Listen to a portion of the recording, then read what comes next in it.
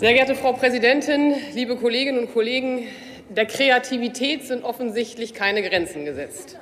Dem Rechtsstaat allerdings schon, und das ist gut so. Nachdem der EuGH klargestellt hat, dass eine anlasslose Datenspeicherung grundrechtswidrig ist, überlegen die Kreativen in der Koalition, man könnte ja mal eine anlassbezogene Vorratsdatenspeicherung prüfen. Das ist dann fast schon lustig, denn auf Vorrat speichert, wer ohne Anlass speichert.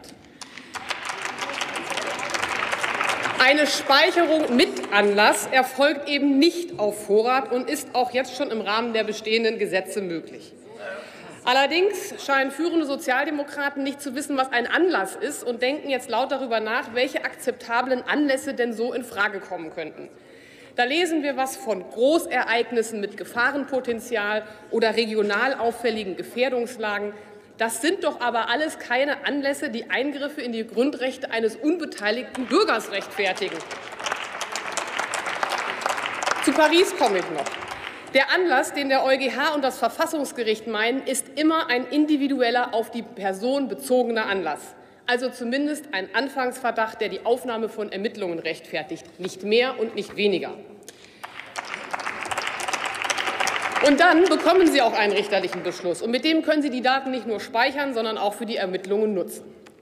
Also insgesamt kann einem der Justizminister wirklich leid tun. Was seine Parteikollegen da von ihm erwarten, ist schlicht nicht möglich und die Quadratur des Kreises. Von der Union mal ganz abgesehen. Von der Union mal ganz abgesehen. Wenn man Ihnen zuhört, Herr Strobel, dann fragt man sich, wie wir überhaupt die letzten Jahre überleben konnten ohne Vorratsdatenspeicherung. Danach steht Deutschland ja kurz vor dem Abgrund. Aber zurück zur SPD. Die Vorschläge der Parteiführung lassen an deren Rechtsverständnis zweifeln. Der Parteivorsitzende schlägt vor, die Nutzung der gespeicherten Daten von einer richterlichen Genehmigung abhängig zu machen. Ja, was für eine revolutionäre Idee. Das ist aber leider eine rechtsstaatliche Selbstverständlichkeit. Es gilt nämlich schon bereits viel mehr. Nicht erst die Nutzung, sondern schon die Speicherung der Daten braucht eine richterliche Genehmigung. Und, Herr Strobel, das ist im EuGH-Urteil unmissverständlich klargestellt. Auch die Generalsekretärin auch die Generalsekretärin der SPD will uns jetzt mit der Notwendigkeit des Richtervorbehaltes beruhigen. Fakt ist aber, es gibt keinen Richtervorbehalt auf Vorrat. Ein richterlicher Beschluss ist niemals für eine unbestimmte Zahl von Personen vorstellbar, gegen die nicht einmal ein Tatverdacht behauptet wird. Wir lesen aber noch mehr Erstaunliches in diesen Tagen. Die SPD prüfe Ausnahmen für Anwälte, Ärzte und Priester. Auch hier muss ich leider sagen, den Geheimnisschutz brauchen Sie für diese Gruppen nicht neu zu erfinden. Der steht im Gesetz und der gilt selbst dort, wo es einen Anlass gäbe, nämlich auch für den einer Straftat verdächtigen Mandanten, und zwar gerade für den. Wie wollen Sie eigentlich die IP-Adressen der 160.000 Anwältinnen ermitteln und die dann aus dem technischen Speichervorgang herausfiltern? Auch interessant. Am Ende ist diese ganze Kreativität der Unbelehrbaren leider auch noch völlig sinnlos. Man kennt schon jetzt mehr potenzielle Gefährder, als man überhaupt sinnvoll überwachen kann. Und so war es auch bei den Attentätern von Paris. Man hat deren Überwachung aus Ressourcengründen eingestellt, bevor sie zur Tat schritten. Und das zeigt uns doch deutlich, wo wir ansetzen müssen beim Personal und von mir aus auch beim Geld, aber nicht bei der unbegrenzten Vermehrung von Daten. Und auch bei der Kinderpornografie nützt uns die Speicherung auf Vorrat nur wenig. Wenn die Ermittler einen Vorgang live im Netz entdecken, können sie wegen Gefahr im Verzug unmittelbar telefonisch einen gerichtlichen Beschluss gegenüber dem Telekommunikationsanbieter erwirken und den Nutzer der IP-Nummer identifizieren.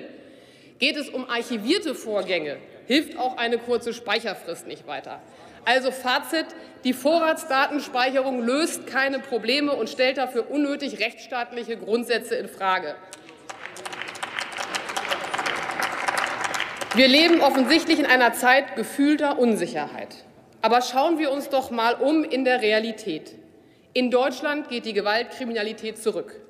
Mir fällt kein, kaum ein anderes Land auf dieser Welt ein, in dem ich mich so sicher bewegen kann wie hier, obwohl wir keine Vorratsdaten speichern. Tausende von Menschen wollen gerne unbedingt genau hierher, um sich endlich mal sicher zu fühlen, und ich kann sie gut verstehen. Und bei allem Respekt für meine amerikanischen Freunde. Auf deutschen Straßen fühle ich mich nicht nur freier, sondern auch erheblich sicherer als auf amerikanischen Straßen, obwohl die Menge der dort gespeicherten Daten wohl kaum noch zu toppen ist. Machen wir uns doch nichts vor. Ein funktionierender Rechtsstaat ist allemal besser als eine falsche Illusion von Sicherheit. Vielen Dank. Vielen Dank. Für die CDU-CSU-Fraktion hat jetzt Dr. Volker Ulrich das Wort.